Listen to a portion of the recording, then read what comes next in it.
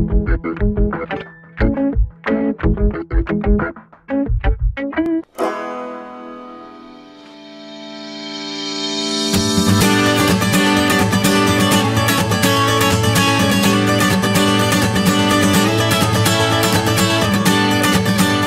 ี่ก็คือ บาร์บีคิวบาร์บีคิวนะคะ ของที่เจอระแวกนี้นั่นเองในทะเลนั่นเองนะคะ มีอะไรบ้างเอ่ยมีปูมีกุ้งนะคะ แล้วก็ปลากระพงแดงใช่ไหมคะใช่อ่าหาได้จากทะเลนะคะมีกุ้งมีหมึกปูนี่ปูอะไรคะปูม้าค่ะ ปูม้าค่ะ สดๆจากฟาร์มเลยนะคะ ทุกวันเขาจับเองก็เป็นปูที่แบบว่ามาสดๆมันยังไม่ตายอืม ขอโทษนะลูกขอกินหน่อยนะแต่ปูถึงไม่ตายแล้วล่ะค่ะเพราะว่ามันตายตั้งแต่มาอยู่ในรถแล้ว เออใช่ค่ะร้อนแล้วก็มีกุ้งนะคะตัวเบ้อเร่อเท่อแล้วก็มีปูนะคะตัวเบ้อเร่อเท่อแล้วก็ปลากระพงตัวอ้วนมากเลยนะคะท่าทางจะอุดมสมบูรณ์ไปด้วยไส้โอเคค่ะนี่ก็คือทั้งหมดนะคะ เดี๋ยวเราจะไปนั่งทานกันต่อดีกว่านะคะขอบคุณมากพี่แอลอาหารสุดยอดอีกแล้วอะ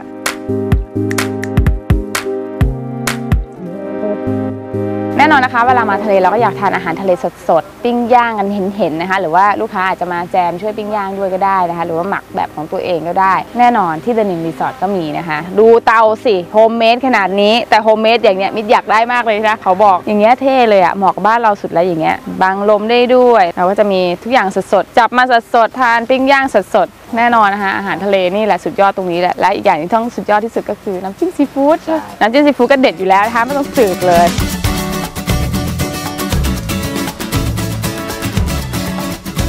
มาถึงอีกส่วนหนึ่งนะคะ นั่นก็คือ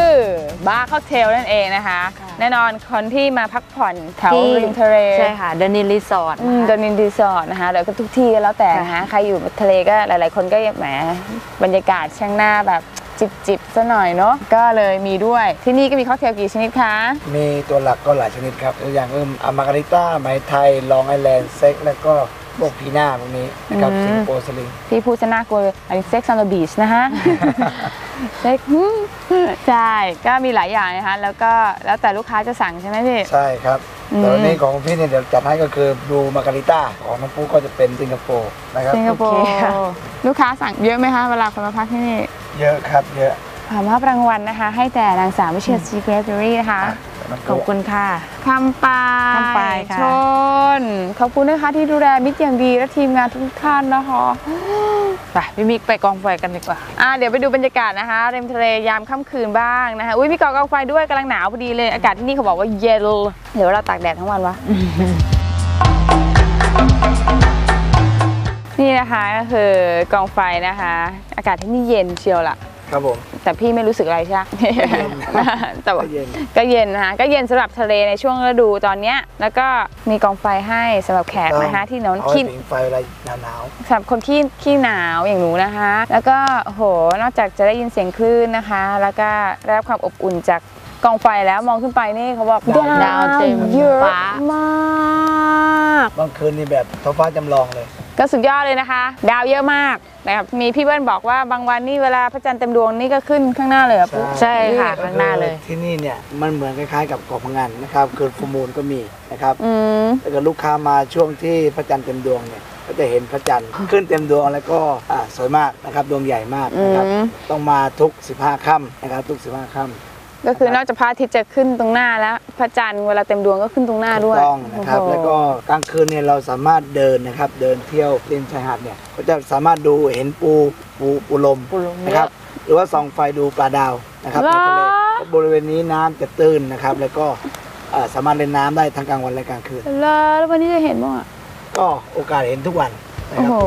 นะครับ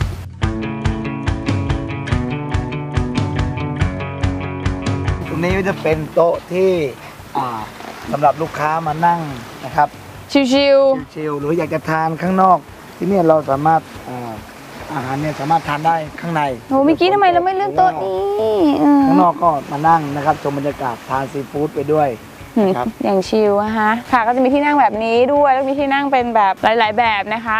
สำหรับคนที่ชอบนั่งอนาคตก็จะมีแบบนั่งพื้นบน ครับผม ศาลาก็มีแล้วก็มีนั่งแบบบรรยากาศโรแมนติก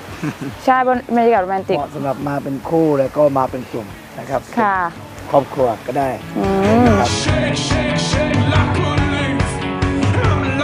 นี่นะคะคือปูลมใช่ ปกตินี่จะตัวเท่าแบบหัวแม่มือเล็กๆอะไรอย่างงี้อะโอ้เล็กที่นี่ตัวใหญ่มากเท่ากำปั้นๆใช่นะครับตัวใหญ่กันนี่มีนะนี่ถือว่าไซส์มีไซส์กลางใช่ใช่ๆนี่นะคะครับอะพี่ปล่อยเขาเถอะดูซิว่าเขาจะหนีบหนูไหมวิ่งเร็วค่ะ วิ่งเร็วมากนั่นไง อ่าชอบเสียงเพลงด้วยเสียดายไหมนะคะเนี่ย ข้างหน้าก็ที่เห็นแสงนะครับ ไฟดวงไฟเนี่ยก็จะเป็นอ่ากลุ่มของชาวประมงนะครับ ในการหาปลาหมึกบ้าง หาปลาบ้างนะครับ แล้วก็ค่ะไฟฝั่งซ้ายมืออุ๊ย มองไปนะ ก็จะเป็นเกาะเกาะสสมุมุยยนะครับเกาะสมุยครับครับสามารถเห็นได้ อืมก็ไฟพวก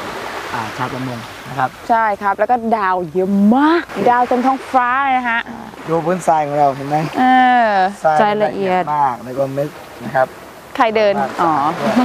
นะครับรอยเท้าใครเอ่ยนั่นสิ อากาศก็ไม่ร้อนไหมสบาย เย็นพี่ หนูถือว่าเย็นเลย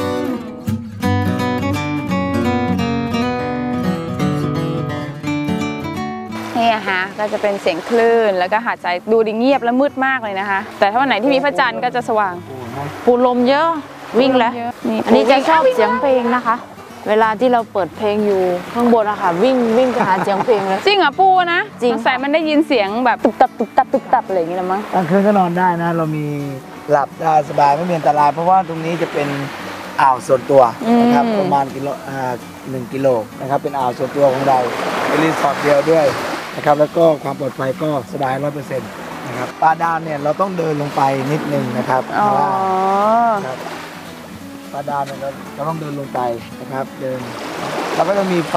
นะครับพนักงานเราจะมีไฟส่องไปดูใครอยากจะดูอืมเพราะน้ำตรงเนี้ยมันจะตื้นนะครับตื้นมากนะครับ แล้วก็เหมาะสำหรับว่ายน้ำบางวันก็จะมีปลาโลมา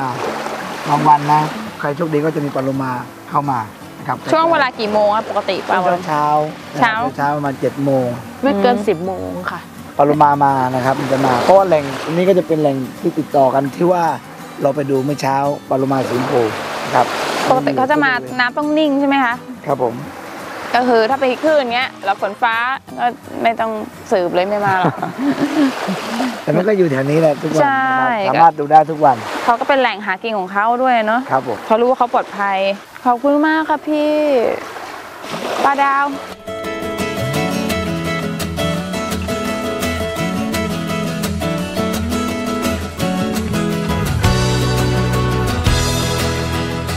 ปูปูปูปูเยอะมากเลยปูไอ้ปูจุกเฉินนี่ออกมาแล้วปูนะเนี่ยออกมาแล้วอ่าปูเสฉวนเนี่ย เยอะมากมีแบบอ่า เยอะมากไม่หนีบอยเนี้ยไม่หนีบค่ะอ่อนๆ ตัวอ่อนอยู่ปุ๊บปุ๊บปุ๊บปุ๊บอ้าอย่าออกมาอย่าออกมาอย่าออกมาอย่าออกมาอย่าออกมานี่ไงไปแล้วอ่ากลัวกล้ามันอะปูเสฉวน เอออย่าเยอะน้ำพัดแล้วน้ำพัดแล้วมาแล้ว เนียนนะนึกว่าหอยแอบอยู่ในโพรงลึกไปเดี๋ยวก็ออกเดี๋ยวก็ดูนี่มีทุกตัวแค่กระดิกก็มีเดี๋ยวตอนทีนี้จะวิ่งแข่งกันนะ เดี๋ยววิ่งแล้วปุ๊บเอาละเอาละไปแล้วไปแล้วไปแล้วมันเลือกอันที่กระดองเล็กที่สุดนั่นไปแล้ว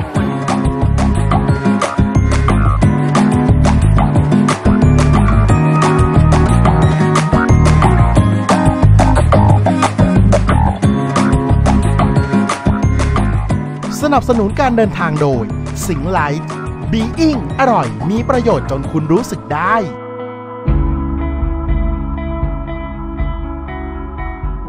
ทริปนี้เป็นทริปที่มีประทับใจมาก ๆ เลยนะคะเพราะว่าสวยมากๆ ไม่ว่าจะเป็นตั้งแต่แพร 500 ไร่นะคะ